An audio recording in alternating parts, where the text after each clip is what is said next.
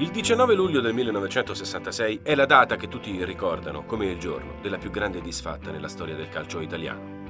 In Inghilterra si celebra l'ottava edizione della Coppa Rime e l'Italia a Middlesbrough affronta la Corea del Nord, ultima gara del girone eliminatorio. Dopo aver battuto il Cile nella gara d'esordio e perso di misura dall'Unione Sovietica, agli azzurri potrebbe bastare anche un pareggio per conquistare il passaggio del turno. La nazionale asiatica non è certo un avversario temibile, ma quel giorno, quel triste pomeriggio, all'Irison Park, succede l'inverosimile. Gli azzurri, fin dai primi minuti, tradiscono una strana ansia agonistica. Hanno fretta di sbloccare il risultato, ma il gol non arriva.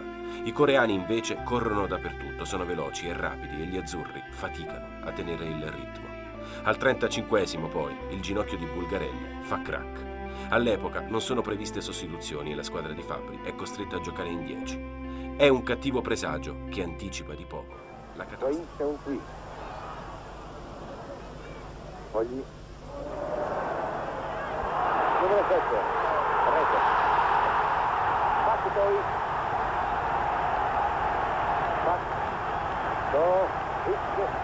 Pochi minuti dall'intervallo, Pak Do-ik inventa un diagonale velenoso e batte Albertosi. L'Italia va sotto 1-0 e in preda ad uno stato confusionale, non riuscirà più a ribaltare il risultato.